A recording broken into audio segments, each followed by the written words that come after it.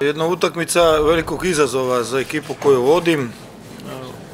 Normalno da jedna utakmica na tom nivou traži izuzetnu koncentraciju, kvalitetan ulazak u samu utakmicu i prije svega u saznanje da je Milan već u prvom kolu pokazao jednu kvalitetu i favorita ove grupe.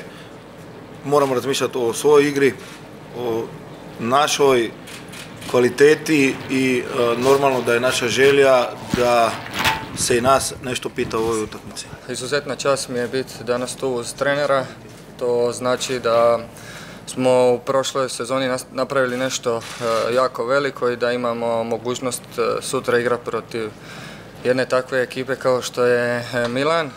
Sigurno da o njima ne treba puno trošiti riječi, svi znamo kakva je to momčad, jedan evropski velikan koji je ove sezone puno uložio, puno se pojačali i momčad koja ima izuzetno dobre pojedince.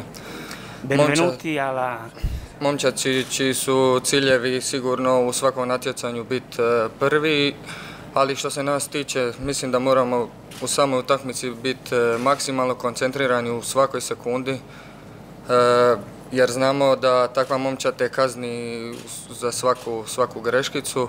Bitan je onaj moment kad izađeš tu na San Siro.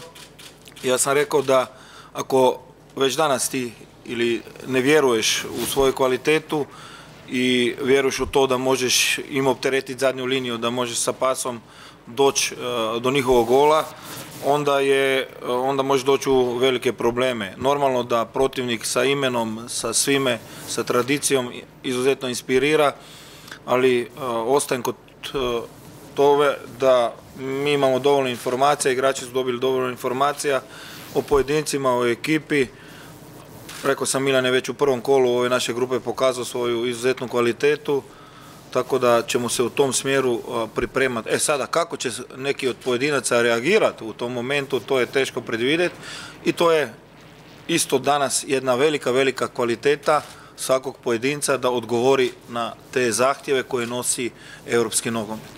Mislim da to ne znači da smo došli tu na izgled, da smo došli samo odigrati utakmicu. Mislim da moramo pokazati e, još jednom taj naš karakter, da moramo se pokazati u jednom jako dobrom svjetlu i pokušati ostvariti dobar rezultat, ali prije svega i najbitnije da odigramo jednu dobru utakmicu. Izuzetno je bitno ono što se događa sa našim navijačima. Mi smo pokrenuli jednu lavinu naših navijača koji će doći sutra na San Siro. Nama je to izuzetno drago i velika čast i normalno je to još jedna obaveza više eh, pred nas eh, sa tolikom brojem naših navijača na gostovanju.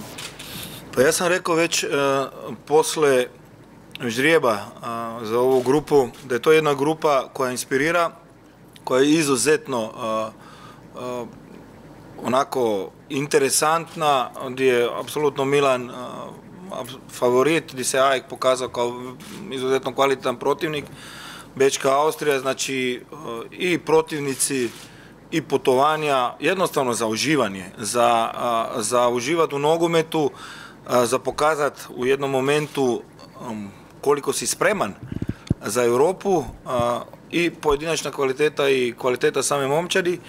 I ja uopće ne vidim tu nekog problema, smo mi sada u prvom kolu izgubili kući od Ajeka, nego svaku utakmicu posebno treba uzeti kao jedan motiv, rekao sam, jedna inspiracija i prije svega da vidiš di si u tom svom radu i di si u toj nekoj želji da bi možda u jednom momentu igrao negdje još kvalitetnoj ligi ili kvalitetnoj ekipi.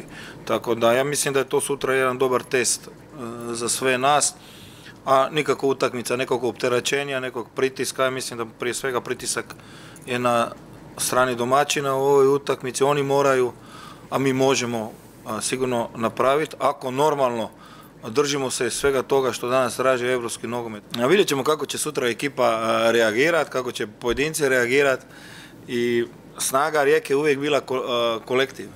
U jednom kolektivu su onda isplivali pojedinci i to je možda moja velika poruka igračima, kad smo već kod poruka.